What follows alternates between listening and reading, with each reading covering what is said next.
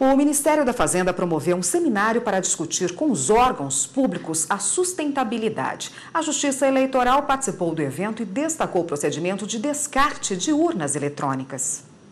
O primeiro seminário de compras públicas sustentáveis do Ministério da Fazenda reuniu vários órgãos públicos para debater a sustentabilidade de suas atividades. No evento, os servidores públicos federais discutiram o papel estratégico das compras e licitações. Representantes das Nações Unidas, do TSE, STJ, TCU, Ministérios do Planejamento e Meio Ambiente trocaram experiências, apresentaram boas práticas e também elaboraram estratégias de gestão de compras sustentáveis. Rafael Azevedo, representante do TSE no evento, falou sobre o descarte ambientalmente correto das urnas eletrônicas. O coordenador ainda explicou que a Justiça Eleitoral segue um processo rigoroso de segurança no descarte das urnas eletrônicas, priorizando a preservação do meio ambiente. Esse balanço é positivo para a Justiça Eleitoral e para o erário, né?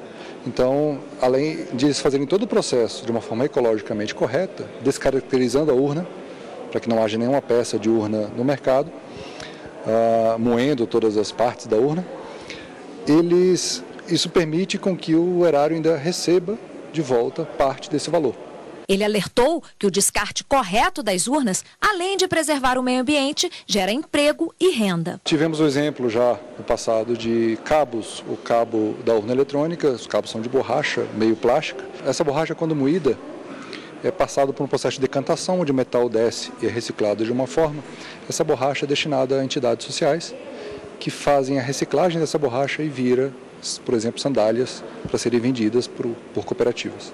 Nubiane Braga, que participou do evento, aprovou o procedimento de descarte das urnas eletrônicas do TSE e observou que poderia ser, inclusive, usado como modelo. Acho que outros órgãos deveriam também aproveitar, tanto no uso de, de máquinas, né, estações de trabalho que são usadas, que na verdade às vezes são doadas e podem ser descartadas no meio ambiente.